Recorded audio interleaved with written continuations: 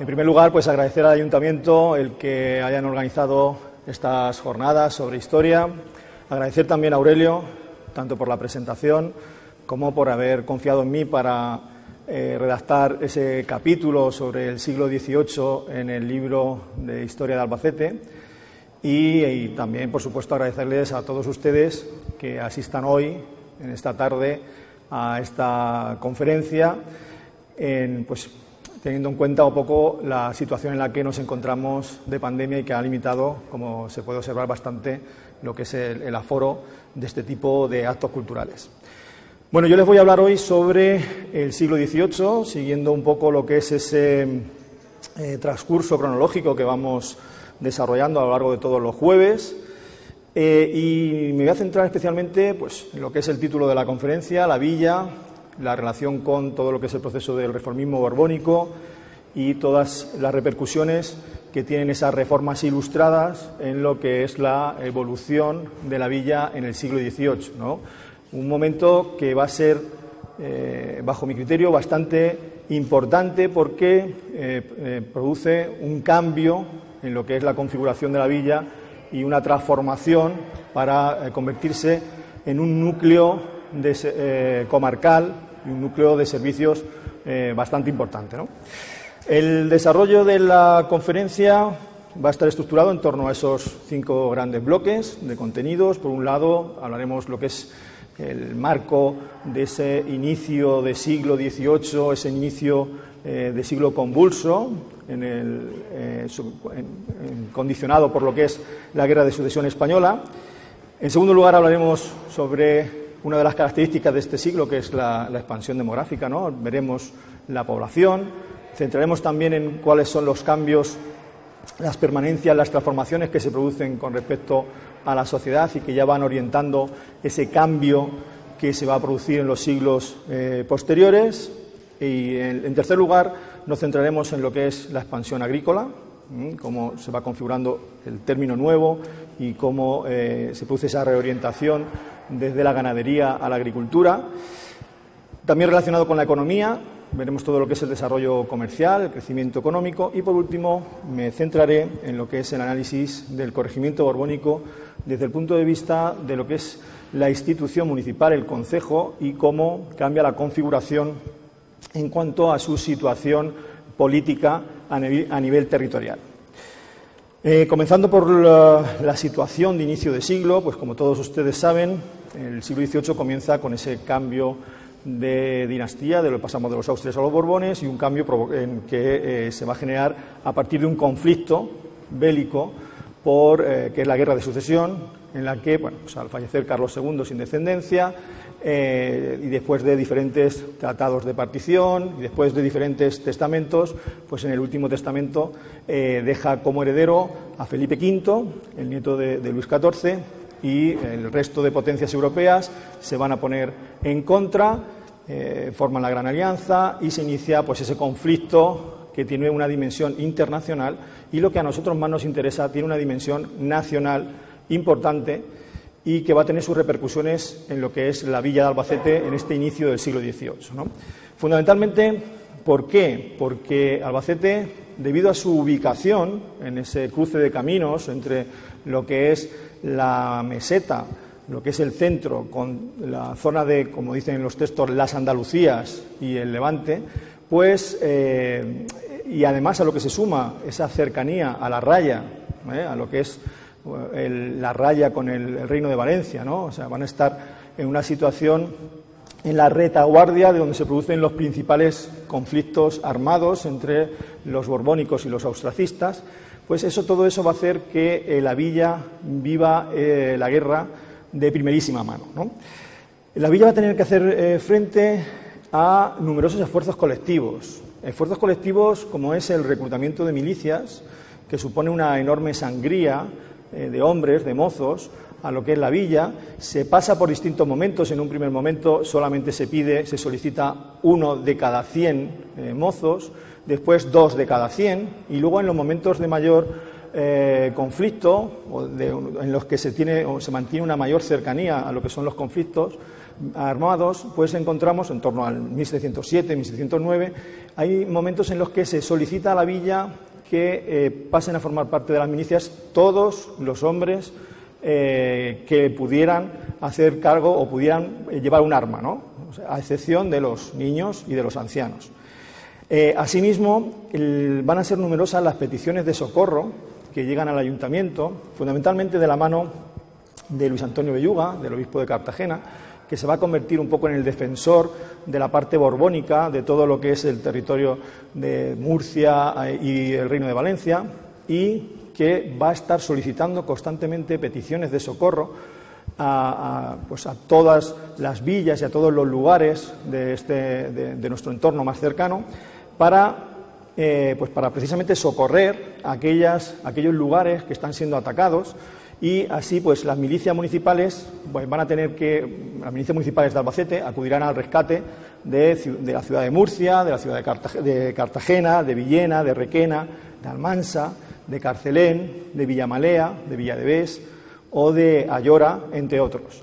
También será frecuente las solicitudes por parte de Chinchilla de que todos esos eh, soldados que forman parte de la milicia albacetense pasen a defender lo que es la guarnición del castillo de, la ciudad, ¿no? lo que eh, provoca no pocos enfrentamientos, porque eh, los, eh, los, concejales, no, perdón, los regidores de la villa de Albacete, pues en muchas ocasiones se van a oponer porque dicen que si todos los militares se van a la ciudad, la villa queda desprotegida, ¿no? Y pues al no tener ninguna eh, ninguna defensa, pues es más fácil que le ataquen las numerosas tropas que eh, discurren por eh, las cercanías de, la villa. Por otro lado, también se va a tener que hacer frente a lo que son las solicitudes para defender los vados y los puentes cercanos a, nuestro entorno, pues todos los puentes que están en torno al río Júcar, al río Cabriel, sobre todo porque pues esos son lugares estratégicos en los que eh, pues, eh, son necesarios para que los ejércitos puedan ir eh, transitar de un lugar a otro. Entonces es importante que estén defendidos y que no se destruyan los puentes. también será frecuente, pues, como he dicho, lo que es el, transcurso de tropas por, las cercanías de la villa, de tropas tanto borbónicas como austracistas y eh, la villa va a tener que hacer frente a lo que es los alojamientos y los abastos de todos los cuarteles que se monten eh, en estas cercanías. Eh, los abastos, pues de todo tipo, desde paja, de cereales y de los alojamientos igual. a los oficiales de alto grado hay que darles una casa acomodada y mientras que pues, el resto de soldados suelen estar en, los alrededores de, la villa. curiosamente también pues eh, en el marco de esa célebre batalla, de la, batalla de Almansa, pocos días antes de celebrarse, tenemos noticia en el ayuntamiento de la solicitud del duque de Berwick, eh, que será el principal general, o sea, es un inglés que está a la defensa de los franceses y que va a ser un poco pues, el principal protagonista de la victoria eh, borbónica en esa batalla de Almansa, pues será el que, o sea, se solicita a la villa, como decía, el que se le dé acomodo para en su eh, transcurso, en su discurrir por la cercanía de la villa. Entonces se alojará en una de las casas de, eh, los regidores o de, los regidores eh, acrecentados.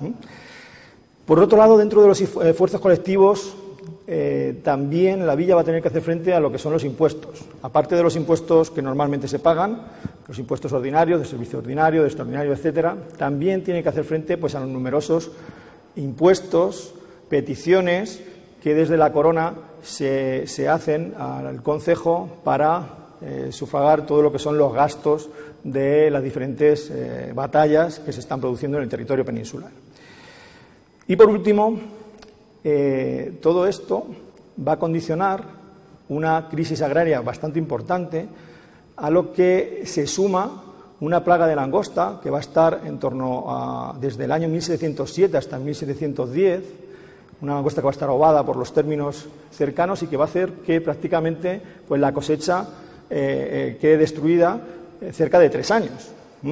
Y así es frecuente observar en, las actas del ayuntamiento pues, distintas peticiones y distintos acuerdos, tanto del corregidor como de los regidores, en los que se dicen, por ejemplo, el 19 de octubre de 1708, pues el corregidor se obligaba a traer 333 fanegas de trigo y 120 arrobas de harina para intentar bajar el precio del pan a seis cuartos, ya que la población se encuentra inquieta y pueden ocurrir altercados. Para, mantener un poco lo que es el orden público, pues lógicamente el, Consejo tiene que, actuar. Eh, poco tiempo después, en 1609, en plena eh, crisis de langosta y acuciados también por lo que son los trasiegos de la, guerra, pues el Consejo solicita eh, reservar a los vecinos pobres de lo que son los repartimientos, que es la manera en la que pues, se suele cobrar los impuestos, y que se les diese tres libras de pan, medio azumbre de vino y cuatro onzas de aceite para que pudieran subsistir. Todo eso nos muestra un poco pues, la crisis a la que se tiene que hacer frente a principios del siglo XVIII. Recuerden que el siglo XVII es un siglo también a grandes rasgos de crisis general, pero a finales, en las últimas décadas del siglo XVII, ya se observan eh, ciertos avances, ciertas transformaciones, y sin embargo, pues justo al inicio del siglo XVIII volvemos otra vez a un momento de crisis bastante importante que no es muy duradero, pero que sí que condiciona la vida de los habitantes eh, de la villa. A cambio de todo esto, pues se van a obtener distintas recompensas y muestras de gratitud real. Una de las más conocidas por todos, pues será la recompensa que por parte de Felipe V se otorga a la villa de Albacete por haber participado en la remonta de caballos en 1710, en la que bueno, pues el marqués de Valdeguerrero está solicitando eh, caballos y dinero para reforzar la caballería en un momento en el que Luis XIV pues, ha abandonado a su nieto y ha retirado todas las tropas francesas del territorio peninsular. El marqués de, Valdeguerrero conseguirá cerca de 1.700 caballos y más de un millón, creo recordar, de reales en, esta, en esta eh, solicitud. Y a cambio la villa, como decía, pues consigue ese mercado franco los jueves y la confirmación del privilegio de, eh, feria en esos cuatro días posteriores que coinciden con la celebración de la Virgen de los Llanos, en torno al 8 y al 11 de septiembre, y eh, pues esta, confirmación de privilegio pues será, eh, pues como veremos a continuación, un poco una de las partes de ese motor de crecimiento de la villa durante el siglo XVIII. En el segundo apartado, en lo relacionado con la población, bueno, pues a, grandes rasgos, frente a lo que es la anterior etapa de estancamiento en el siglo XVIII, pues veremos cómo, eh, perdón, en el siglo XVII, en el siglo XVIII se produce un cierto crecimiento dentro de esa transición demográfica que se denomina y pasamos de los eh, siete millones y medio de habitantes en el territorio peninsular a los 11 millones de finales del siglo, del siglo XVIII. Sí. Eh, todo eso condicionado también por el interés que tienen los políticos reformistas de saber en todo momento la población que existe para potenciar de distintos eh, proyectos que aumenten lo que es la población, porque consideran que es muy importante tener mucha eh, mano de obra, ¿no? Cuanta más mano de obra, pues más se generará, más riqueza, mayor riqueza se generará en el país. ¿no? Entonces, son numerables los censos que podemos encontrar al siglo, a lo largo del siglo XVIII, desde el vecindario de Campos Florida, del catastro de Ensenada, el, censo de Aranda, el censo de Florida Blanca, el censo de Godoy. Bueno, eh, son fuentes que todas ellas hay que tomarlas con ciertas limitaciones, porque muchas de ellas tienen una fuerte eh, finalidad fiscal, lo que puede provocar ocultaciones, ocultamientos, y, eh, pero, sin embargo, para lo que son los historiadores, pues nos ofrecen una foto fija en cada uno de los momentos, muy importante, que si lo unimos todo, pues eh, nos hace una panorámica de cómo se produce esa evolución a lo largo del siglo XVIII. Bueno, los, gobiernos, el crecimiento demográfico va a ser desigual a lo largo del siglo XVIII, va, a crecer fundamentalmente en todo lo que son la cornisa cantábrica, el litoral, en Madrid, pero en el resto del territorio no va a crecer tanto como ah, en, esas zonas. ¿eh? y, también encontramos un desequilibrio en cuanto a la distribución de habitantes y también en cuanto a la ubicación espacial de, esos, de ese crecimiento de, población, en el que predomina lo que es el, medio rural frente al medio urbano.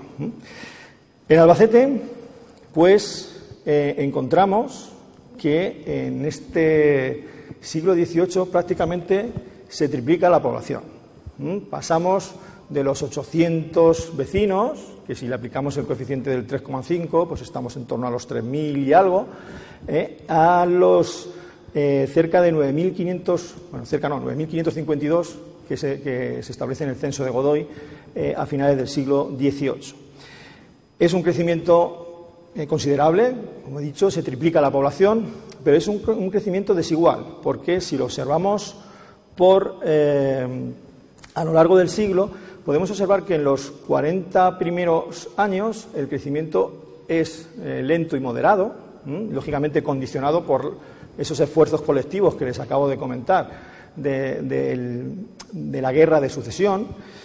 Y eh, a partir de 1640 ya eh, la población cuenta con 1.103 vecinos, o sea, en torno a 4.000 y algo habitantes, que eh, lo sitúa en unos números muy similares a los que eh, habíamos observado en el siglo XVI. ¿no? En ese momento, bueno, todavía no llegamos, si recuerdan ustedes en la conferencia de Pilar, decía pues, que en torno a mediados del siglo XVI la villa llega hasta los 1.500 vecinos. ¿no? Pues estamos más o menos, se recupera, ¿no? se produce esa recuperación de toda esa crisis, de todo ese descenso demográfico que se produce en el siglo XVII, pues en torno a la mitad del siglo XVIII empezamos a recuperar la población que había tenido en siglos anteriores la villa.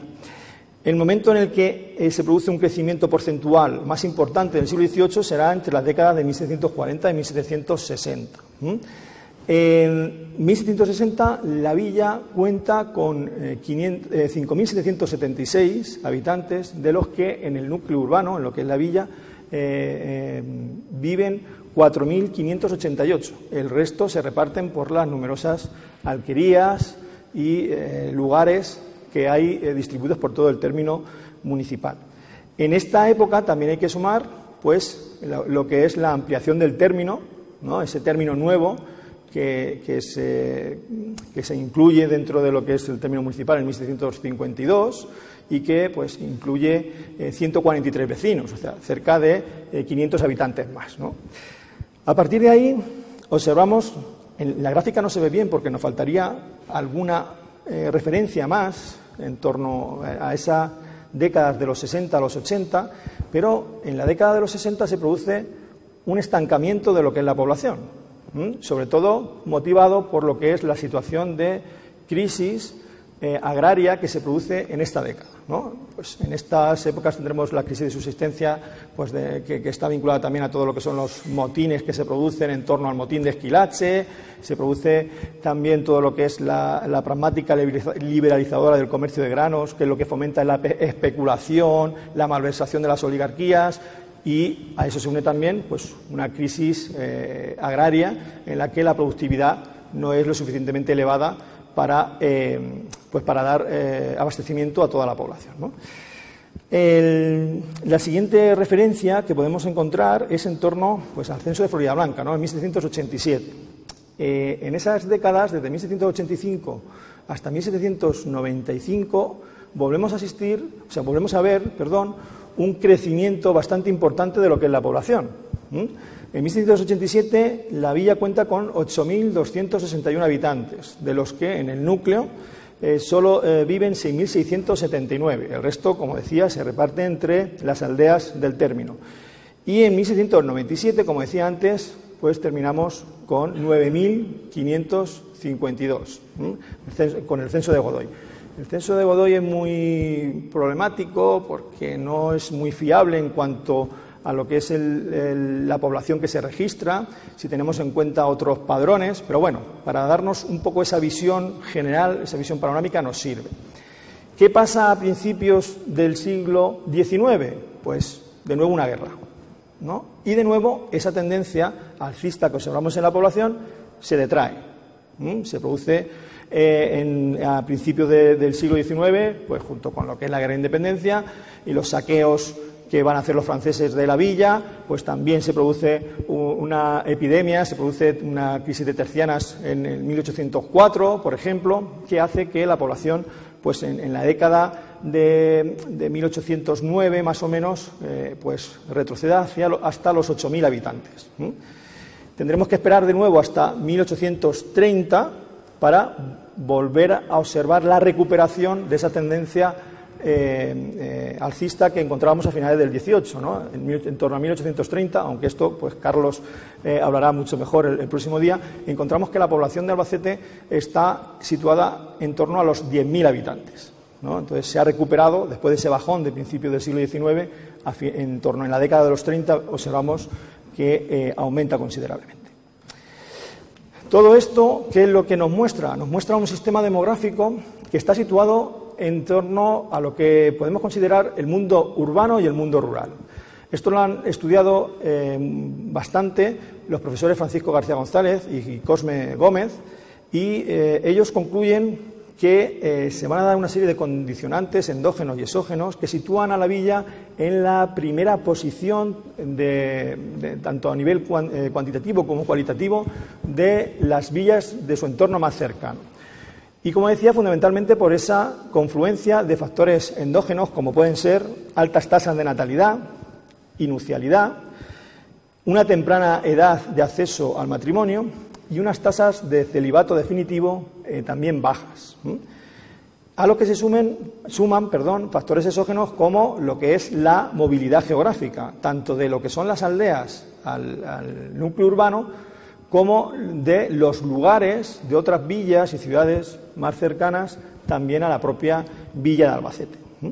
Todo eso, pues, es una característica más, es una muestra de la importancia que en el siglo XVIII va a ir adquiriendo eh, la villa de Albacete.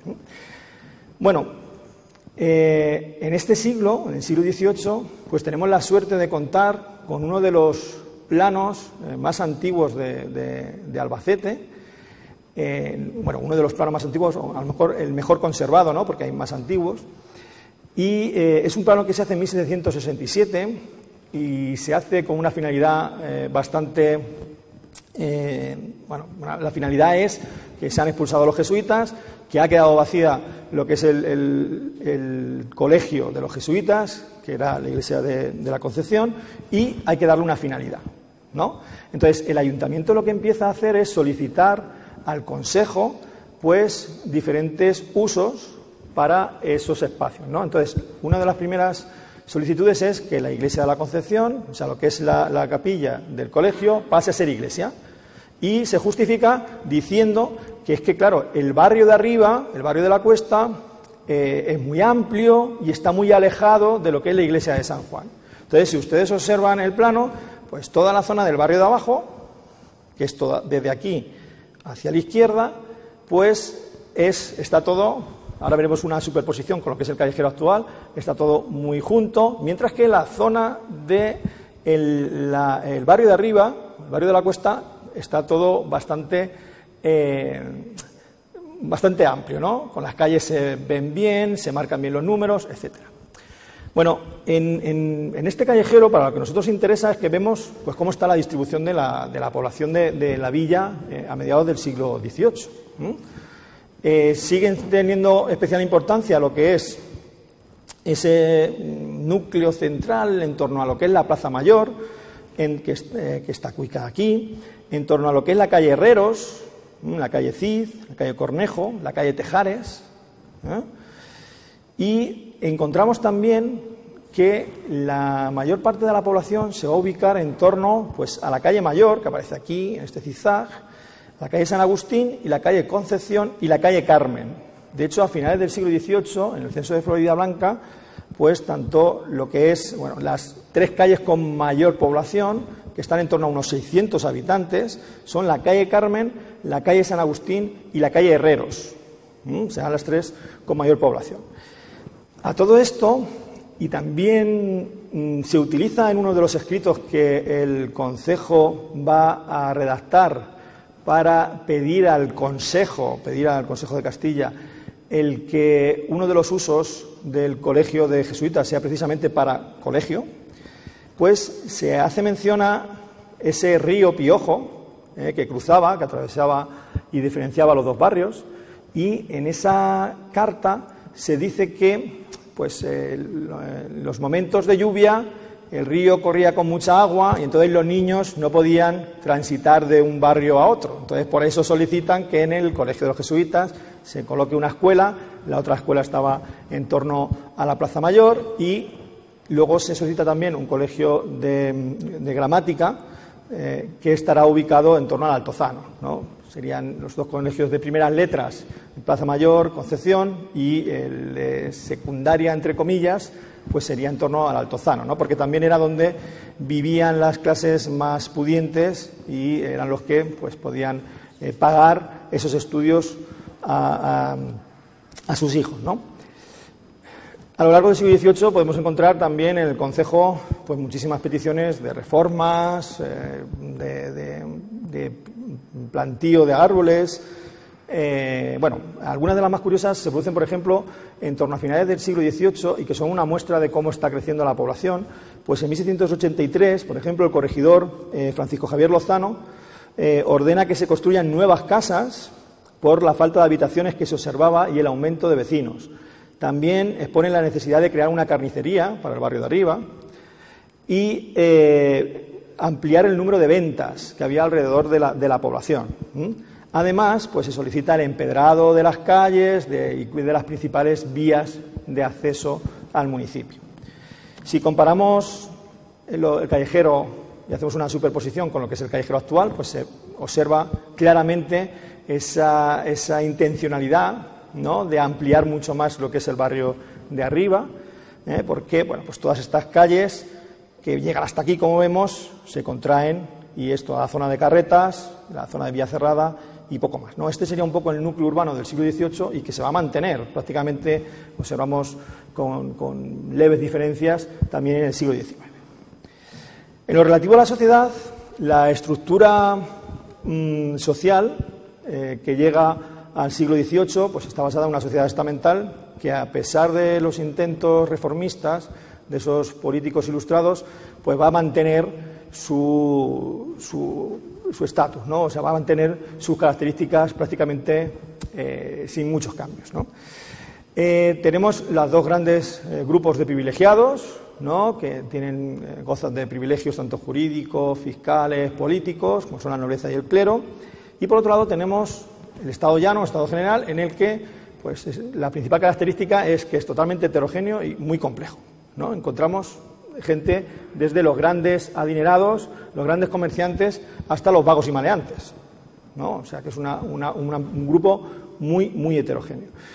Como decía, los ilustrados van a intentar actuar contra estas clases, sobre todo contra lo que consideran manos muertas, pero no van a tener el resultado que, ellos quisieran. Sí que se observan algunos cambios, como es ese empuje burgués, no es empuje de burguesía, que eh, bueno, todos esos artesanos, mercaderes, funcionarios, etcétera, que poco a poco eh, van a constituir lo que es el germen de una eh, clase media, sin, saberlo, sin estar todavía en la sociedad de clase ni nada de eso, pero sí que son el germen ya de lo que posteriormente se establece en ese cambio que se produce luego ya con la sociedad de clases, en el que pues, se mantiene lo que es el, dinero y no la sangre como el principio ordenador de la sociedad. ¿no? Sí que se observan ya algunos cambios, sí que se observan ya algunos movimientos por parte de esa burguesía para el ascenso social, pero bueno, todavía bastante limitado, ¿no? Habrá que esperar al siglo XIX para observar unas eh, mayores, eh, para observar el cambio, ¿no? Eh, en cuanto a lo que es la nobleza, en Albacete, pues observamos que el número de hidalgos pues, eh, es intermedio, ¿no? Vamos a decir, está en torno a los 25. Eh, está en una posición, podríamos decir, el, cuarto a nivel provincial, eh, de la actual provincia de Albacete, ¿no? O sea, por encima, el número de hidalgos tenemos Almansa, que tiene cerca de 68, Chinchilla, Ellín, bueno. Sin embargo, bueno, el número total de hidalgos supone un 1% del total de la población, ¿eh? cuando en España estamos en torno al 4,6 más o menos. Entonces es un número relativamente bajo. Sin embargo, la importancia de estos hidalgos es bastante alta. eh, generalmente suelen provenir de labradores enriquecidos que luego han comprado alguna carta de hidalguía o que han conseguido de alguna manera esas cartas de hidalguía y que mantienen entre sus principales eh, formas de vida ¿no? Pues el mantenimiento de propiedades urbanas, propiedades agrícolas y propiedades ganaderas. ¿no? O sea, poca, existe poca diferencia entre lo que es un labrador normal. ¿no? Por ejemplo, Francisco Munera Alfaro, que es uno de los hidalgos que vamos a encontrar al principio del siglo XVIII, eh, dice que además de percibir anualmente 6.000 reales por el tráfico de su cabaña de ganado, poseía entre sus bienes inmuebles una casa en la calle de la Feria, otra en la de la Concepción, otras dos en la calle de Zapateros y varias casas de campo, una en el sitio de casa de Don Juan, otra en el sitio de Naveta y otra en el sitio de los Anguijes. Estos eran los heredamientos, que va a ser una forma también eh, muy frecuente de acumulación de, tierras con casas de labor, con ganado, que se va a utilizar por las gentes acomodadas. Y por otro lado, pues van a ser los principales actores de la oligarquía. Yo creo que tanto Carlos como Pilar ya en las conferencias anteriores les han mostrado cómo es un poco la estructura de lo que es el Consejo y cómo bueno, se consigue la mitad de oficios, por lo que la mitad de los, de los oficios concejiles tenían que ser del grupo de los hidalgos, la otra mitad tenía que ser del Estado llano. Entonces, poco a poco van adquiriendo eh, un poder bastante considerable en lo que es la influencia del Consejo, a lo que se suma que cuando se produce la, venta de oficios, en torno al siglo XVI-XVII, pues la mayoría de los hidalgos compran un oficio de regidor. Y luego, cuando se producen los acrecentamientos, pues solicitan que su oficio de regidor sea preeminente y puedan entrar con armas eh, con capa y espada, como se dice, o con armas en los concejos, o sea alférez mayor, o sea alcalde mayor de rondas, bueno, con todo ese tipo de eh, características. No encontramos miembros de la alta nobleza, ¿no? son, son, todos miembros de la hidalguía, a excepción de lo que es el de los carrascos. ¿no? Yo creo que Pilar ya les habló también el jueves pasado de la importancia de la familia Carrasco y bueno, aquí les muestro un árbol genealógico de uno de los últimos Carrasco del siglo XVIII, que es Fernando Carrasco Rocamora, que mm, al final, entre el siglo XVIII y principio del XIX llegará a firmar ya las actas como conde de Villaleal, eh, señor de Pozorrubio, de Molins, eh, de Budnegra, caballero de la Orden de Carlos III y será suegro de un grande de España, como don Luis de Roca de Togores, conde de Pino Hermoso y será abuelo de Mariano de Rocatogores, marqués de Molins. ¿Mm? Entonces, esta, esta familia de los Carrasco se va a ir configurando como una de las más importantes de todo eh, a nivel eh, comarcal, porque llegan pues, hasta Murcia, hasta la propia ciudad, y eh, van a ir serán una de las más adineradas de la villa y pues darán el salto a lo que son pues los eh, la nobleza, la nobleza titulada. Por otro lado tenemos el clero. El clero, eh, pues en el censo de Florida Blanca encontramos, eh, se nombran dos curas, que, que, es normal, porque están situados a la cabeza de lo que es el clero local, entonces su número no podía ser muy elevado. Tenemos dos curas, uno para la iglesia de San Juan y otro para la aldea de Salobrán. Tenemos tres tenientes de cura, uno que ayuda en la iglesia de San Juan, otro en la iglesia de, la Concepción y un tercero en el señorío de Pozorrubio. Y luego tenemos un número ahí, hasta 30, de otros eh, personales, de otras personas, perdón, relacionadas con el clero, que van a disfrutar de sus privilegios fiscales, jurídicos y eh, políticos. Junto a ello encontramos hasta ocho eh, conventos tanto de religiosos como de monjas. Bueno, cinco, o perdón, dos, cuatro, seis de, religiosos y, dos de monjas. Tenemos el convento de San Francisco, de la calle Zapateros, en el que, como ven, pues tenemos ahí dos puntos en el que podemos saber el número de, de religiosos, tanto en el que es el catastro de Ensenada a mediados del siglo XVIII como el censo de Florida Blanca, y los números más o menos se mantienen. Tenemos el convento de San Agustín, que estaban en la plaza de Altozano, los franciscanos descalzos, que se establecen en el 17 eh, en el, convento de los Llanos. Tenemos la Compañía de Jesús, que sí que aparece en el catastro, pero como saben ustedes, eh, se produce la expulsión en 1767 y entonces no aparecen ya en el censo de Florida Blanca. Eh, cuando se produce la expulsión, había en la villa en torno a cinco, son siete, perdón, siete sacerdotes los que tienen que salir de la villa y embarcar en Cartagena. hacia, en principio iban hacia Roma, pero bueno, se quedan en Córcega. Y luego tenemos bueno, la casa hospicio de San Antonio Abad, que está situado en la, ermita, eh, en la cercanía de la ermita de San Antonio, eh, que tiene, cuenta con, dos sacerdotes y dos eh, criados en el censo de Florida Blanca, y los hospitalarios del Divino Pastor, que también que se asientan en el Hospital de San Julián y Santa Basalisa, y dicen las actas que para la curación, asistencia y cuidado de los enfermos, tanto naturales como forasteros. En cuanto a las monjas, contamos con las franciscanas de la calle de las Monjas, estaría situado el convento, y luego las justinianas, que están también en, eh, el Altozano. En el número total observamos que eh, pues prácticamente muy similar en ambos momentos, ¿no? tanto al principio, de, a mediados del siglo XVIII como a finales. Eh, encontramos que la influencia del clero va a ser bastante importante en, la villa, ¿no? pero pasa también en cualquier, en cualquier otro lugar, ¿no? porque pues gozan de gran poder tanto material como espiritual, ¿no? Y eh, las relaciones que van a existir con el Consejo, pues van a, van a tener momentos de consenso y momentos de disenso. Los momentos de consenso, pues generalmente el ayuntamiento siempre eh, acude a los religiosos, al clero local, pues en los momentos en los que necesitan un acto de legitimación. Si hay un sorteo, pues se tiene que contar con el cura, con el párroco, si hay un, sorteo de milicianos, bueno, todos esos actos siempre se encuentra con el, con el clero. actos de cortesía, ¿eh? si llega un corregidor, pues tienen que ir también todos los eh, miembros del clero. Los momentos también de esfuerzos colectivos, también vamos a encontrar en, esos momentos de crisis en los que, como les comentaba al principio, pues el corregidor está buscando como loco fanegas de trigo para bajar el precio del pan. Muchas veces no siempre, muchas veces el clero colabora y eh, vende del, que tiene de sus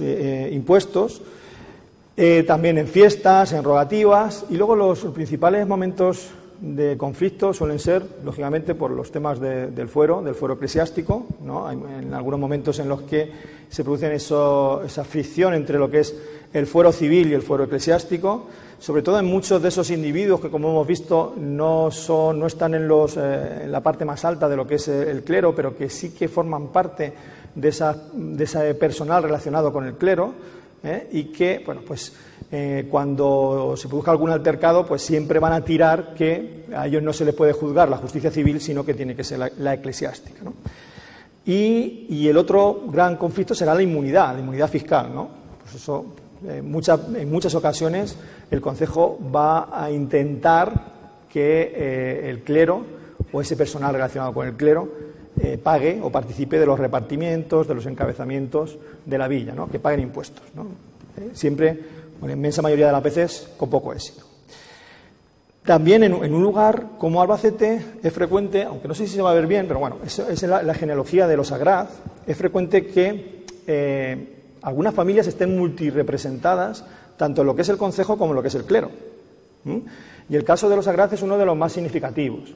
En, un momento determinado, en el siglo XVIII, encontramos que eh, eh, están como regidores don Alonso Agraz, que además es uno de los regidores acrecentados porque también es el alcalde mayor de Rondas, y eh, su cuñado participan como regidores y el hermano de Alonso pues será el vicario, el vicario de la villa. Entonces, es muy frecuente que cuando haya que tratar algo en el concejo relacionado con el clero, pues estas dos personas tengan que salir del concejo. Eh, entonces, vemos un poco la influencia que algunos, algunas familias pueden tener en este contexto eh, local. En, definitiva, el clero supone en estos momentos un 4% del total de la población de la villa. Lo que, cuando estamos hablando que en España tenemos un porcentaje de un torno a un 2%. O sea que es un porcentaje bastante elevado, lo que ha llevado a autores, pues como eh, a Santa María, a decir que, o darles apelativo de villa conventual a, lo que es la, villa de Albacete. ¿no? Y de hecho, si observamos de nuevo lo que era el callejero, pues encontramos que aparte de la catedral, los distintos conventos que aparecen dentro del núcleo urbano, pues toda la villa está rodeada de numerosas ermitas y en un documento del siglo de, perdón, de 1766 que recoge eh, Sánchez Torres dice que eh, tiene por antemurales al rodeo del pueblo las ermitas de la Santísima Cruz, señores Fabián y Sebastián, las de María Santísima del Rosario y Santo Sepulcro, las de la señora Santa Bárbara y Santa Quiteria, y las de los señores San Ginés y San Ildefonso, y en el centro las de María Santísima del Carmen, el patriarca señor San José, y todas ellas con decente adorno para celebrar festividades y, misa para, eh, o sea, en el discurso del año. Entonces vemos un poco la configuración pues, de ese apelativo de villa conventual pues puede ser reconocido. Por último, el Estado llano pues es un, como decía, un conglomerado complejo, eh, heterogéneo y que está, en cierto modo, enmarcado por el nivel inferior, por la parte de todos esos eh, oficios vinculados a la agricultura y la ganadería, que suponen un 56% del total de la población, y por otro lado, todos aquellos relacionados con el mundo artesanal, el comercio y los, y los servicios, ¿no? que dan una perspectiva ya de esa consideración de, eh, núcleo urbano con muchísimas covillas, que es, o de núcleo de servicios, mejor dicho, núcleo comarcal, que podemos encontrar eh, en esta, eh, podemos otorgar a esa visión de Albacete, de la sobre todo la segunda mitad del siglo XVIII. por bloques encontramos, como decía, los oficios vinculados a la agricultura y la ganadería, suponen un 56% en total. Dentro de ellos, jornalero, mulero, leñadores, trabajadores son los mayoritarios. Solo encontramos un 10% de labradores, que son los, eh, los que están con una mejor consideración dentro de este grupo. Y este porcentaje total del 56% podría ser superior si le sumamos todos aquellos eh, individuos que, tanto en el catastro de Ensenada como en el censo de Florida Blanca, aparecen como eh, con una. O sea, no aparecen con un oficio determinado, y que eh, viven en las numerosas aldeas del entorno, ¿no? y que, pues, si no tienen oficio, pues posiblemente fuesen jornaleros. Eh, por otro lado, tenemos el grupo de los artesanos, que suponen también, los, porcentajes suelen ser muy similares en ambas fuentes. Estoy utilizando tanto lo que es el, libro de vecindario del Catastro de Ensenada como el censo de Florida Blanca. ¿no? Estamos hablando de 1760 a 1787. Eh, los artesanos son eh, un 25%, como decía, predomina lo que es el textil, eh, tanto con aquellos oficios destinados a la, confección de, artículos de vestir, como sastres, cordoneros, como aquellos que se dedican a la fabricación de tejidos, como pueden ser tejedores, bataneros, cardadores, hiladores y peinadores. En segundo lugar, en importancia, están los oficios relacionados con el calzado y la piel. Y, por último, los relacionados con el metal, en los que predomina los cuchilleros, creo que en el catastro de Ensenada había 21 cuchilleros, y después los herreros a corta distancia, que estaban en torno a 18, y luego otros oficios. A todos estos hay que sumarles pues todos esos oficios relacionados con la alimentación, con la construcción y que eh, forman parte también de, este grupo. Como cuestión importante también de estos artesanos es que eh, se comienza a observar un grupo importante de lo que son maestros emprendedores. ¿no? Son maestros de un determinado oficio que intentan montar sus tiendas y establecen sus redes comerciales para vender sus propios productos. ¿no? Ya no dependen de otros. ¿no? Y que, pues, en cierto modo, son también los que van a potenciar esa actividad comercial o ese desarrollo comercial que podemos encontrar en la segunda mitad del 18. El tercer bloque eh, son los comerciantes. Estamos en torno a un 5%, pero es un número bastante importante porque eh, eh, a principios del 18 hay un documento en el que eh, aparecen en la villa de Albacete en torno a 20 comerciantes solo y a finales del 18 tenemos 201, creo recordar, 201 comerciantes. ¿no? Entonces ha aumentado bastante el número de comerciantes, una muestra más de, ese desarrollo económico, de esa expansión comercial que se va a producir, como decía, a finales del siglo XVIII. Los comerciantes viven fundamentalmente del comercio del azafrán, del comercio textil y del comercio del ganado y de la lana. Y ah, también encontramos un, bloque bastante importante de, comerciantes, vamos a decirle, importantes, ¿no? comerciantes que, tienen ya un volumen de negocio bastante considerable y que también tienen unas redes comerciales con los puertos del, Levante eh, y con Madrid eh, muy importantes. ¿no? De hecho, también vamos a empezar a ver la llegada de nombres de comerciantes franceses, de comerciantes catalanes que se asientan en, la villa. Y por otro lado tenemos la complementariedad de oficios, es decir, que no solamente hay comerciantes que son comerciantes, sino que hay boticarios que también se dedican al comercio, que hay regidores que también se dedican al comercio, que hay eh, pues eh, sastres que también se dedican al comercio. ¿no? Entonces también se utiliza mucho como una parte eh, complementaria de lo que son los ingresos. El último bloque son todos aquellos de profesionales que podemos decir liberales, ¿no? y, aquellos que están dedicados a la administración, donde tenemos procuradores, abogados, escribanos, empleados con sueldo real, los propios regidores, y que suponen un 5% también del total de la población, un número bastante elevado, ¿no? y que nos da una muestra de esa importancia que está adquiriendo la Villa de Albacete como núcleo eh, comarcal ¿no? y que como núcleo de servicios. pasando a lo que es la expansión agrícola, que se produce en el siglo XVIII, pues bueno, en el 700 el mundo agrario va a seguir siendo pues el, principal eh, motor de, la economía, ¿no? Sigue siendo. Y los ilustrados pues también se van a, eh, prestar una especial atención a todo lo relacionado con esas reformas que eh, puedan ampliar los beneficios de todo lo relacionado con el mundo agrario. Así, pues se van a proponer numerosas reformas, como puede ser la roturación de nuevas tierras, la extensión de obras de regadío, la introducción de nuevos cultivos, la fundación de depósitos y obras pías como instituciones crediticias, la liberalización del comercio de granos, incluso lo que es la, bueno, incluso, y también la limitación de los privilegios de la mesta, que va a, va a poner bastante, o va a tener bastante repercusión, sobre todo en Albacete, donde eh, la mayor parte de la oligarquía era una oligarquía ganadera. Eh, sin embargo, a pesar de todas estas eh, reformas que quieren introducir los ilustrados, pues no van a, llegar, no van a tener el éxito que ellos quisieran. Sobre todo motivado porque existen crisis climatológicas bastante importantes que hacen que el rendimiento de los cultivos no sea el apropiado y sobre todo por la actuación de, eh, los hidalgos, o sea, la, actuación de la nobleza, más que de los hidalgos, que va a, poner, va a intentar poner todas las trabas posibles a esas medidas reformistas que quieren poner estos eh, políticos ilustrados, ¿no? y que van a conseguir la eh, acaparación de, mm, de, tierra en sus manos, ¿no? tierras que van a arrendar a terceros y que eh, las van a mantener sin eh, dedicar ningún dinero a invertir, a reformar para que el, producto sea, sea mejor ¿no? o el rendimiento sea mayor. Entonces tenemos que a los ilustrados les interesa mucho de lo que es el mundo agrario, ¿no? ya que depende de todo lo que son las ideas de la fisocracia, pero los resultados que tienen no son los adecuados, ¿no? o los que ellos quisieran, mejor dicho.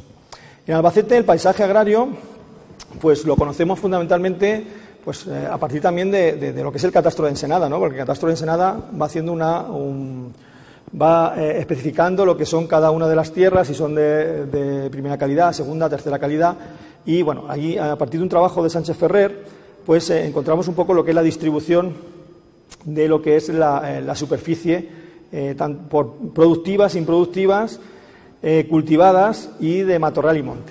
Destaca, por ejemplo, como el regadío es muy poco, eh, tenemos en torno, solo hay 124 almudes, o sea, un 0,04 del total de la población. Predomina lo que es el labradío, o sea, lo que son los cereales, con un 78%. Luego, en segundo lugar, bueno, luego, está el viñedo, ¿no? También con un 2,13. Y por último, lo que son los azafranares, que tienen un 0,14, ¿no? O sea, muy poquito. Sin embargo, son el producto que más beneficio, con el que más beneficio se obtiene y el que también va a estar detrás de ese desarrollo comercial eh, que hemos comentado. Eh, lo que es la evolución del paisaje agrario, pues podemos encontrar cómo a principios del siglo XVIII eh, predomina lo que son las zonas de, montes, ¿no? porque como decía, la oligarquía fundamentalmente vive del ganado, es una oligarquía ganadera, entonces predomina lo que es todo lo que es relacionado con la ganadería. En segundo lugar, en importancia está el viñedo, que vamos a encontrar que aumenta considerablemente en los, siglos, en los años posteriores, En tercer lugar, el azafrán y por último, los cereales. Y sin embargo, a partir de la segunda mitad del siglo XVIII vemos cómo se produce esa reorientación desde la ganadería a la agricultura. ¿no? Comienza a tener más importancia todo lo relacionado con los cereales. En segundo lugar, el azafrán. También se comienza a cultivar con mayor importancia el viñedo y luego queda ya casi en último lugar todo lo relacionado con el, ganado lanar. Eh, si vamos a la propiedad, pues la propiedad observamos cómo eh, la inmensa mayoría de la superficie está en manos de pocas familias. Entre esas familias tenemos los Sagraz, tenemos los Alfaro, Barnuevo, Bastida, Benítez, Bustamante, Cantos, Cañabate, Carcelén, Carrasco, Cortés, Espinosa, Munera, Santaella, Urrea y Zamora, que serán algunos de los linajes que llegan a acaparar hasta el 80% del total de la superficie. O sea, tienen grandes extensiones. Un hecho importante, como decía al, inicio, será la, ampliación del término municipal con ese eh, eh, añadido de lo que es el término nuevo eh, en 1752. Todo esto, como comentaba Pilar, pues es muy frecuente que pues, existe una comunidad de pastos entre Albacete y Chinchilla. Y bueno, pues esa comunidad de pastos da lugar a muchísimos enfrentamientos entre las justicias de ambos lugares. ¿no? Eh, en el 1723 termina lo que es esa comunidad de pastos y a partir de ahí, incluso en el ayuntamiento, pues empiezan a establecer eh, mm, banderías entre los que se denominan como defensores del bien común, en el que encontramos los Carrasco, los Sagraz y los Alfaros, que quieren separar totalmente el término, y los defensores de los intereses de Chinchilla, en los que encontramos los Munera, los Cantos y los Alcañabate, que quieren seguir manteniendo la comunidad de pastos. ¿no? Eh, esa conflictividad es bastante importante, es, eh, frecuente que el corregidor tenga que, eh, actuar porque pues, los vecinos de Chinchilla se han metido en dehesas que pertenecen a gente de Albacete o los vecinos de Albacete se han metido en dehesas que pertenecen a los vecinos de Chinchilla. Y todo eso va a concluir en 1652 cuando pues, se produzca lo que es esa, esa delimitación, ¿no? el Consejo dictamina, perdón, el Consejo, eh, el Consejo de Castilla dictamina que, eh, a excepción de la sierra que queda común para el pasto y la leña, eh, se adjudiquen a la villa de Albacete todas las dehesas y tierras antes de Chinchilla que se hallan a la mano derecha del camino real de la ciudad de Murcia hasta el término de Tobarra y también la dehesa de Meledriz, ¿no? que más o menos es esta zona que ustedes pueden ver en, el, en, el, en la imagen. ¿no? Así pasan a formar parte de Albacete pues aldeas como eh, Rubaldea, La Cueva, Los Hitos, La Rambla, Urán, Bujía, Mazalquivir, La Ruiza, Pasaconsol, Pozo Cañada, que será la más importante, ¿no? a la que a partir de este momento hay que nombrar un alcalde pedáneo en todas las elecciones de oficios, eh, Charcolobo, Cerrolobo, Abuzadera, Sontalafia, Mercadillo, eh, Ventanueva o Meledriz, entre otros. Otro aspecto importante también en lo relacionado con la expansión agrícola será pues toda la situación que se da relacionada con las lagunas o la desecación de las lagunas que hay alrededor de Albacete.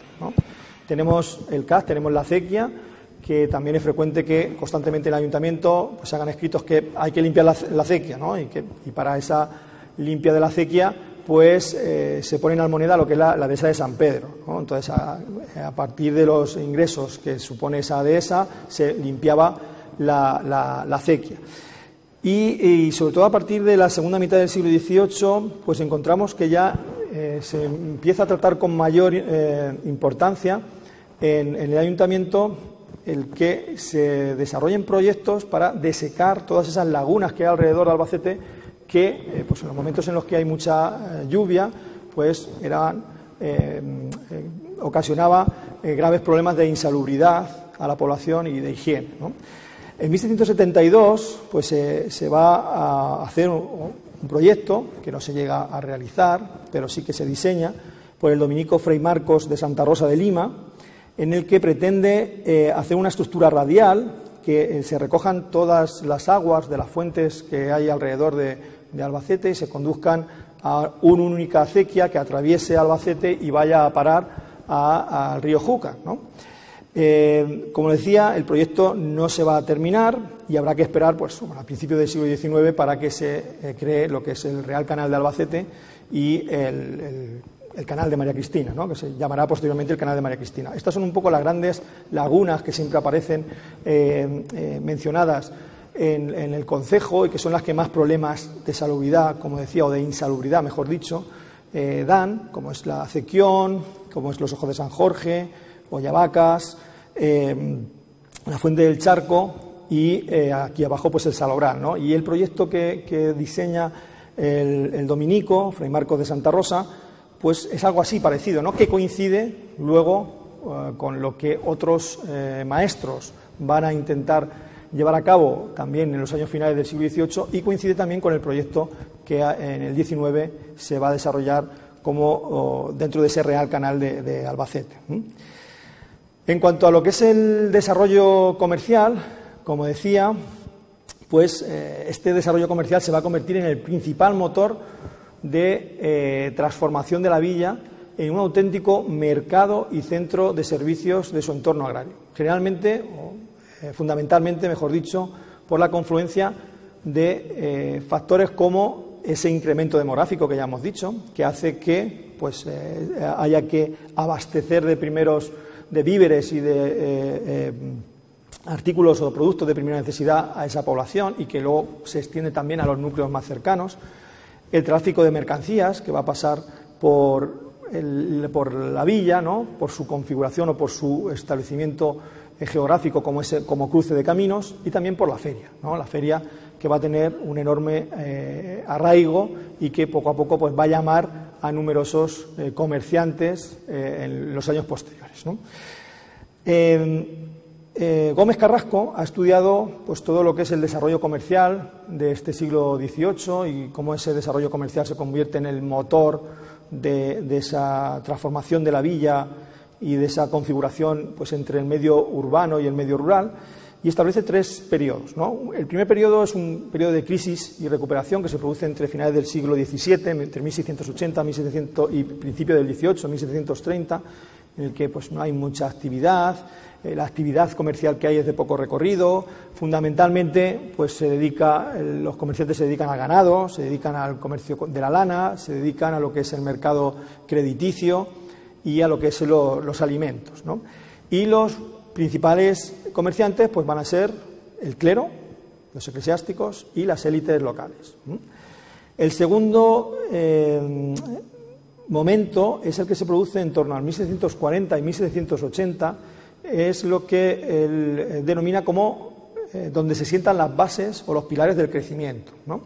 A partir de aquí observamos una mayor especialización de todos los oficios relacionados con el, eh, comercio, ¿no? pues tratantes, comerciantes, mercaderes, se mezclan con carreteros, tenderos, arrieros, confiteros, mesoneros, bueno, hay una diversidad social bastante importante.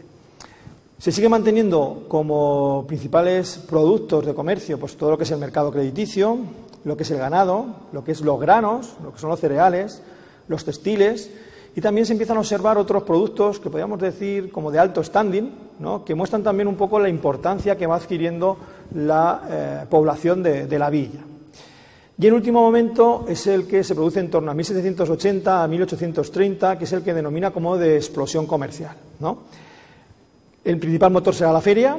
La feria va a llamar a mm, muchísimos tratantes de ganado, comerciantes de todo, de todo tipo de productos para que eh, lleguen a Albacete en estos momentos. Se observa también una enorme extensión de eh, tiendas, de redes de tiendas. Aparece un mayor número de comerciantes al por mayor, también entre lo que son los, los oficios de la villa y aparecen esos comerciantes catalanes y franceses que comentaba anteriormente y se observa un mayor eh, tráfico comercial. Como decía, la feria pues será el núcleo fundamental, ¿no? Y, mm, tampoco me voy a detener mucho en la feria porque yo creo que es uno de los temas que más se ha hablado en lo que es la historia del siglo XVIII de, de Albacete, ¿no?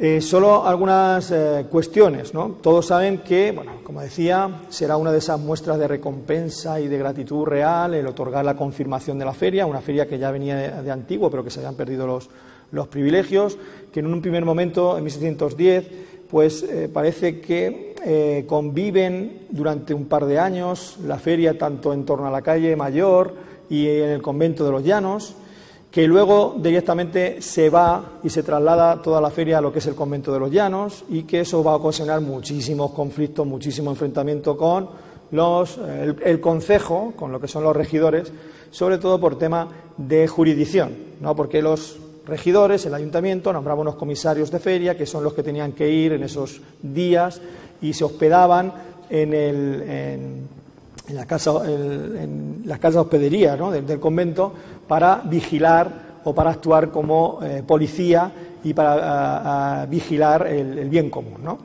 Los eh, religiosos no quieren que los eh, concejales vayan porque, eh, volvemos otra vez al tema del problema de las jurisdicciones y, bueno, será constante ¿no? el enfrentamiento que hay entre unos y, otros. ¿no? Esto es explicado súper rápido y de una manera bastante eh, llana. ¿no? En 1645 los los eh, franciscanos solicitan que, eh, pues eso, que los regidores no puedan intervenir en los temas de jurisdicción eh, en torno a la feria.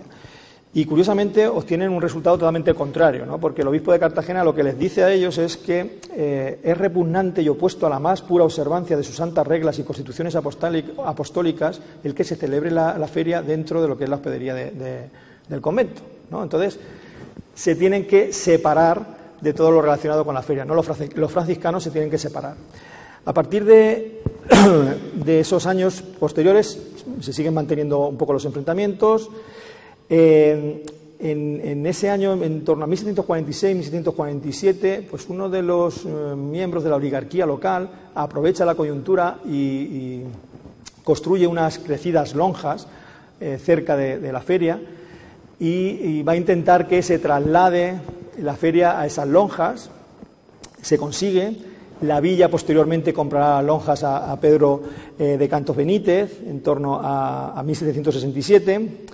Se comienzan a, intentar diseñar distintos proyectos de edificios, ¿no? como el que tienen ustedes en su pantalla, el que, se produce, el que se intenta desarrollar en torno a 1771 de Lucas de los Corrales, ese plan ortogonal con 12 calles, abierto al exterior por cuatro puertas y que eh, pretende dar cabida a 180 puestos. Y en 1780 los regidores que ya ven que no tienen tanta influencia en la feria, que no tienen tantos beneficios de alquilar los puestos, pues eh, intentan separar completamente la feria de eh, lo que es el entorno del convento de los Llanos. ¿no? Se dice que el sitio donde se celebraba la feria era un despoblado, con cuya ocasión solían cometerse muchas indecencias y desórdenes en deservicio de ambas majestades, ¿no? acciones indecentes y robos que habían venido en aumento de año en año y además habían cesado las limosnas. Bueno, todo eso conlleva a que en 1783 pues el Consejo decida que la villa pueda poner pueda montar la feria donde quiera y la villa, el Consejo decide trasladar la feria a los ejidos y eras de Santa Catalina, ¿no? Y en un tiempo récord pues construyen lo que es el, el edificio del recinto ferial, ¿no?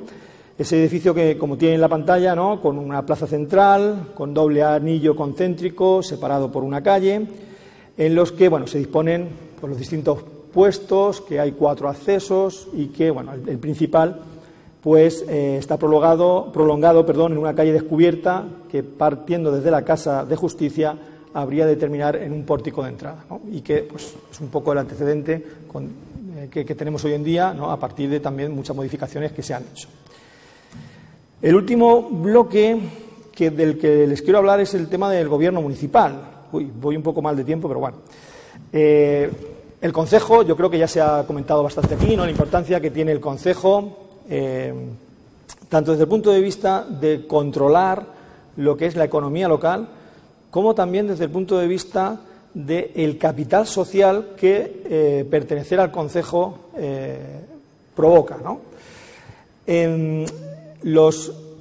Las personas que intervienen dentro del Consejo en el siglo XVIII, pues eh, los, tenemos al Justicio Mayor, que vamos a ver cómo cambian en, en diferentes momentos, que es el que preside las reuniones. Luego tenemos los regidores, que ya en este siglo XVIII todos están ya patrimonializados, son todos oficios que pertenecen a familias. Luego tenemos algunos oficios acrecentados, como el de alférez mayor, por ejemplo, como el de alcalde mayor de Rondas, o regidor segundo eh, preeminente. Y en el siglo XVIII también, junto a este número de regidores, que ahora veremos cómo evoluciona, se van a incorporar otros oficios, como son los de diputado del común y síndico personero, sobre todo a partir del motín de Esquilache. Y, se introducen con el afán de intentar mm, controlar a las oligarquías controlar la mala actuación que algunas oligarquías estaban haciendo en algunos lugares. Eh, si vamos por partes, el Justicia Mayor, eh, como decía, va a pasar o va a estar encabezado por diferentes personajes, o más que personajes, figuras institucionales. Eh, si recuerdan la conferencia de Pilar del, jueves pasado, decía que a lo largo del siglo XVII vamos a tener diferentes momentos en los que la justicia ordinaria, que son esos alcaldes ordinarios, recuerdan que había dos, uno por que se nombraba de los hidalgos, otro del Estado llano, pues eh, en, diferentes momentos eh, esa justicia ordinaria es secuestrada por el corregidor de Chinchilla y en otras se recupera.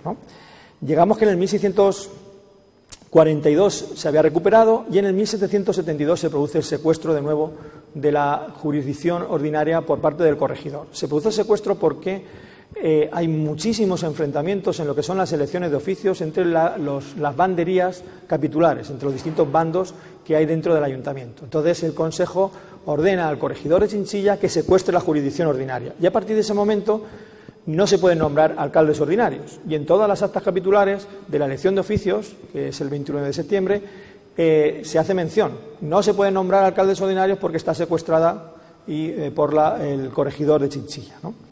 Otro momento importante será el que se produce en 1690, que es la separación de ese corregimiento de Chinchilla, Villena y, las nueve villas, que venía de ese, eh, eh, la gobernación del marquesado, que como saben, como decía Pilar, pues eh, se divide anteriormente en dos corregimientos, ¿no? el de arriba y el de abajo. Pues este corregimiento de Chinchilla Villena se va a separar en 1690 en dos corregimientos diferentes y al corregimiento de Chinchilla, en el que queda Albacete, pues eh, se le obliga que nombre un alcalde mayor que se va a encargar de la jurisdicción en la villa. Sin embargo, los corregidores de Chinchilla van a seguir eh, manteniendo su casa, o van a seguir queriendo mantener su casa en la villa, ¿no? porque les parece un lugar pues eh, más acomodado, ¿no? una situación urbanística que les parece más cómoda que el tener que tener su villa, o sea, perdón, su casa en la ciudad de Chinchilla. Entonces, eso va a ocasionar numerosos enfrentamientos también con los capitulares que no quieren que el corregidor intervenga en lo que es la dinámica diaria del consistorio. Y va a ser muy frecuente encontrar diferentes enfrentamientos a lo largo de eh, toda la primera mitad del siglo XVIII, hasta el punto que eh, en 1737 Luis de Quesada y Belluga, que es uno de los corregidores de Chinchilla, se niega completamente a irse a, montar casa en Chinchilla y se queda en Albacete. Entonces, los, regidores montan un pleito en el Consejo y el Consejo le dice al corregidor que él tiene que tener la sede en la cabeza del corregimiento que es Chinchilla. Y a partir de ese momento, el corregidor deja de aparecer en las, eh, presidiendo las, reuniones capitulares de Albacete.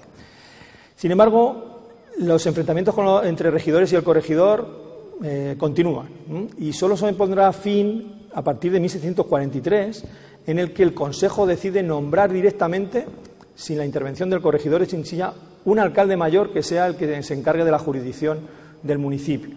Entonces, a partir de este momento, desde 1643, la justicia, la jurisdicción, la presidencia de los ayuntamientos será ejercida por un alcalde mayor que directamente nombra al presidente del Consejo de Castilla.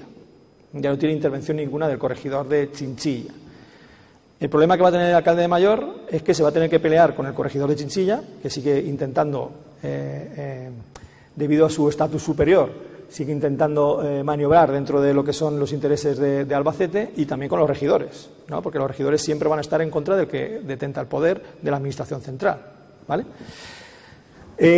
uno de estos alcaldes mayores, García Núñez de Aro, pues, bueno, a partir de 1660, de la década de los 60, se intenta solicitar al Consejo que eh, en Albacete se establezca ya un corregidor, ¿no? porque se considera que ya la villa tiene la suficiente importancia a nivel comarcal como para ser regida por un, por un corregidor. Entonces, vamos a estar desde 1760 hasta 1769 con continuos pleitos en el Consejo para que el Consejo se decida a nombrar, a, mm, reducir el alcalde mayor a, corregidor. Y el detonante va a ser que eh, en 1767 García Núñez de Aro, que es uno de los alcaldes mayores, eh, que, es uno, no, que es el alcalde mayor que está en ese momento, pues solicita que se le aumente el salario, que se le pase de los 300 a 500 ducados. Y el Consejo lo que hace es eh, decir que va a proponer que se, cree que se reduzca esa alcaldía mayor a corregimiento, ¿no? y, así ya pues mata dos pájaros de un tiro, ¿no? porque le da un, sueldo de 500 y sube lo que es la categoría del justicia mayor a, corregidor. Todo este proceso va a estar, eh, va a ser muy prolongado porque va a tener, lógicamente, la negativa de la ciudad de Chinchilla que no quiere que se establezca un corregimiento tan cerca del suyo propio.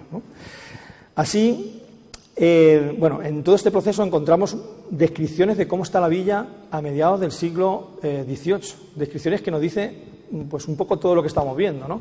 Aquí es uno de los testigos que participa eh, en todo ese proceso que se genera a lo largo de, esa década del de 1760 a 1769, pues, eh, que es Pedro Carrasco Ramírez de Arellano, que es un miembro de la hidalguía, que es muy adinerado, dice que eh, para, para, para mm, justificar la importancia de mantener un corregidor en la vía de Albacete, dice que es necesario para administrar la real jurisdicción de esta villa y su campo, que lo es bastante dilatado, componiéndose su tráfico, comercio y sustancia de más de 36 atos de ganado y frutos de pan, vino y azafrán, y muchos de sus vecinos comercian en este género. Tiene gremios de tenderos, carpinteros, aperadores, herreros, sastres, alpargateros, albañiles, canteros, cuchilleros, yeseros y confiteros, con que se proveen sus vecinos y otros pueblos de la comarca. Mantienen casa de correo de postas que bajan desde la corte para dichas ciudades y puertos y desde estos para aquella tres días en la semana. Tiene administración de tabacos y proveedor de víveres, dos pósitos, pozo de nieve, carnecerías, cinco posadas y en su jurisdicción una acequia de agua con que riega muchas tierras y muele un molino propio del testigo y gruesos montes de encinas y pinos, que todo ello le hace digna de autorizarla, no siendo de menor atención el tener tres conventos de religiosos, dos de religiosas, un colegio de la compañía y un clero que se compone de su párroco, un vicario y más de cuarenta sacerdotes. Tiene un santo hospital para recoger a los pobres y rodeada su población de muchas ermitas con adorno decente donde los días festivos se celebra misa. Bueno, es un poco la, una foto fija de eh, en torno a 1760 de cómo está la villa y cuál es la importancia. ¿no? Y ya vemos muchos de esos rasgos que venimos comentando, ¿no? de la expansión agraria, de la importancia como núcleo comarcal, etcétera. Los eh, personajes que van a participar como justicias mayores, como presidentes del ayuntamiento, pues eh, son numerosos, ¿no? Y podemos encontrar esos tres grupos que decíamos, ¿no? En primer lugar, los corregidores de la ciudad de Chinchilla, los alcaldes mayores de, nombrados ya por el Consejo a partir de 1743, que suelen ser abogados de los Reales Consejos, o sea, que suelen tener mayor experiencia letrada y que luego, como pueden observar, el destino posterior sigue siendo la carrera de letras, ¿no? sigue siendo como alcaldes mayores o corregidores en, en otros lugares. Y a partir del nombramiento de García Núñez de Aro, en 1769 como primer corregidor, pues tenemos corregidores de letras, generalmente suelen ser abogados, pero con la consideración de capitán de guerra, ¿no? capitán a guerra, ¿no? que pueden también dirigir las tropas eh, o las milicias eh, concejiles. En el bloque de los regidores, pues observamos cómo a partir del siglo XVIII se produce un retroceso bastante eh, importante en lo que es ese sentimiento por acceder a los sillones capitulares. ¿no? Si recuerdan de nuevo lo que comentaba Pilar, en el siglo XVII se llegan a vender hasta 40 oficios, 44 oficios de regidor. O sea que llegamos a tener un número de regidores bastante amplia para una población que es bastante escasa en ese momento. Sin embargo, a principios del, del 18 y prácticamente a lo largo de todo el 18 tenemos, participan en la vida municipal en torno a 10, 15 regidores en los que pues, asisten con relativa frecuencia. 10, 15 regidores que eh, suelen ser oficios, como decía, patrimonializados, que pertenecen a distintas familias y que eh, eh, los tienen patrimonializados por juro de heredad, o sea que se lo van traspasando de padres a hijos dentro fundamentalmente de mayorazgos. Eh, y a finales del siglo XVIII observamos ya que se produce un descenso total del interés por participar en la política municipal, ¿no? porque se produce un traslado de lo que son estos regidores, de esta, de esta oligarquía que primero es ganadera, que luego es agrícola, se produce un traslado por abogados, procuradores que entran dentro del ayuntamiento y también se van a observar más, em, más fiscalizados por esas figuras que hemos dicho que aparecen a partir de 1766, como son los diputados del común y el síndico personero. Entonces, aparece un desinterés que se puede observar aquí a finales del, del 18 que se vuelve a retomar luego de cierto interés a principios del 19 y que luego pues termina prácticamente desapareciendo con los primeros regidores electos en la década de, 1830. La configuración o la composición social de estos regidores fundamentalmente son labradores enriquecidos, hidalgos, como hemos dicho, y luego en la parte final encontramos, eh, en la parte final del siglo, encontramos también letrados y eh, a lo largo de todo el siglo hay algún militar, algún capitán de milicias que también suele participar en la política municipal. Eh, encontramos también un comerciante, un comerciante que por ley no podía eh, ejercer como regidor, pero sí que a partir de la década de los 80 del siglo XVIII sí que ya se les permite, ¿no? Son considerados los oficios manuales también dignos. Y tenemos a Ignacio Suárez, que eh, comienza siendo, en la descripción que se hace, mozo sirviente, barbero, tendero de esportilla e hilos, y en el momento de acceder al consistorio es mercader de ropas, de seda, lana y lienzos, y uno de los personajes más adinerados de la villa. O sea, que hace una trayectoria vital de ascenso social pues bastante importante. La fuente de ingresos de, esta, de estos regidores pues, suele ser un poco pues, parecida a la que hemos dicho de los hidalgos, ¿no? Suelen ser propietarios de tierra, eh, de ganados, de bienes inmuebles, de casas, suelen vivir también del mercado crediticio, de préstamos y también del acaparamiento de oficios. Oficios que pueden ser escribanías, que pueden ser regidurías, que pueden ser procadurías, o sea, todo lo que, sea un oficio que se puede vender lo compran y luego lo alquilan. Eh, y la forma principal también de, de mantener mucha tierra o de mantener sus bienes intactos suele ser el mayorazgo, ¿no? suelen dejar todos los bienes al primogénito. Eh, y, como forma también utilizan lo que son los heredamientos, ¿no? esas grandes extensiones de tierra con casa de labor, con ganado, etc. Tenemos ejemplos, bueno, los Carrasco que ya hemos hablado. Los Carrasco, por ejemplo, dice eh, en el siglo XVIII, Fernando Carrasco cuenta con un importante número de casas localizadas en Albacete, como puede ser cuatro en la calle de Castañeda, dos en la de Agraz, otras dos en Villacerrada, en la calle Mayor, en la calle La Cava, un mesón en la calle Mayor y varias casas de campo, una en Tirajeros y otra en el sitio de Miralcampo, lo que por alquiler le suponía una cantidad de 1.840 reales anuales.